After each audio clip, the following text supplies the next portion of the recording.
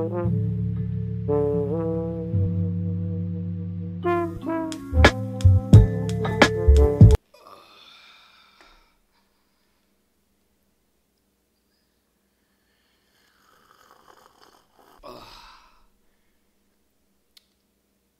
entire body hurts.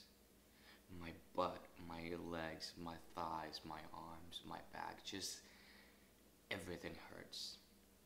If you haven't seen yesterday's vlog, it is right here. Go watch it.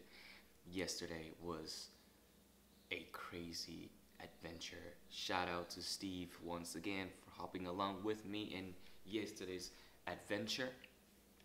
I don't know what we're gonna be doing today, but we play by ear. I'm still gonna take you guys along with me in today's adventure. But as if right now, I'm gonna enjoy my coffee and just relax for a bit because my god, I've never walked under the sun as much as I did yesterday. I think in my entire life. Yesterday, we were over a thousand feet off the ground.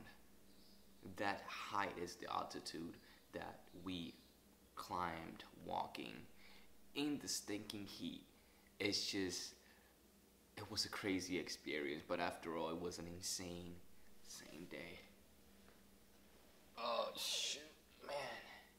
So, so today's video, today's video, it's not going to be the greatest for two reasons. Number one, I'm not bringing, I'm not bringing the big camera, and that's because I'm going to a stand-up comedy show at the biggest venue that we have here in Puerto Rico, El Choliseo, Molusco está apagao, which um, I'm actually pretty stoked to see the show. I saw the reviews yesterday. People loved it. It was a sold out show. Congratulations to you, Molusco. You're doing it good, papito. Un abrazo.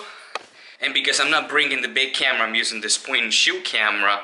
Hopefully, when we go through security, they don't check me and you know, I'm not gonna, I'm not gonna record inside the show, but at least I wanted to take you guys with me till we get to the to the show, and then after the show, I get back on it and give you guys a review about the show. So, I'm uh, I'm gonna snack something before we leave and head out. See you guys in a bit.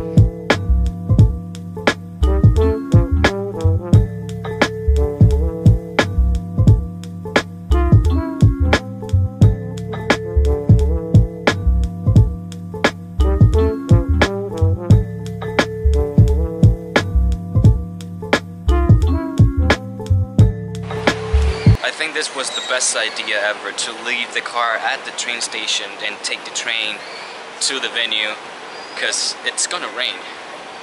It's a good thing I don't have to. I won't get wet because it actually leaves me like right in front of the, the venue.